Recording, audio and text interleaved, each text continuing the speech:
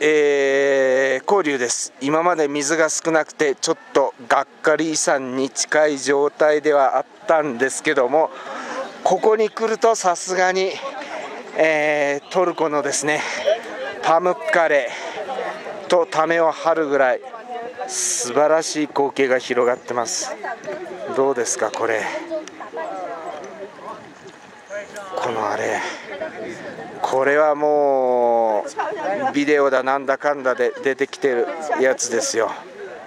ねこれ見てください。透明度も抜群ですね。ね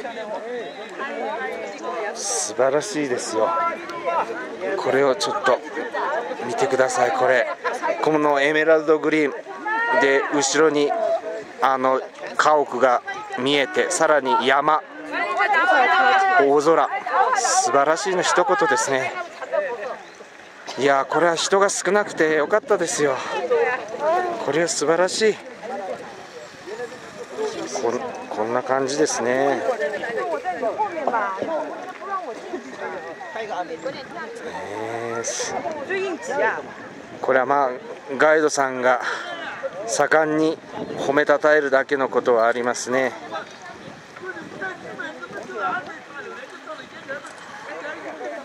これはもう素晴らしい。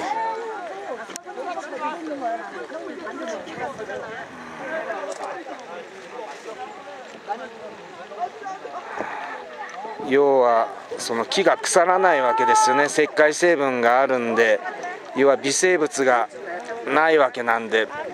でこれも4万年ぐらい前にできたって言ってましたかね。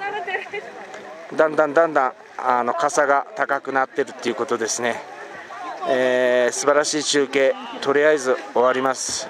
シェシェ在前。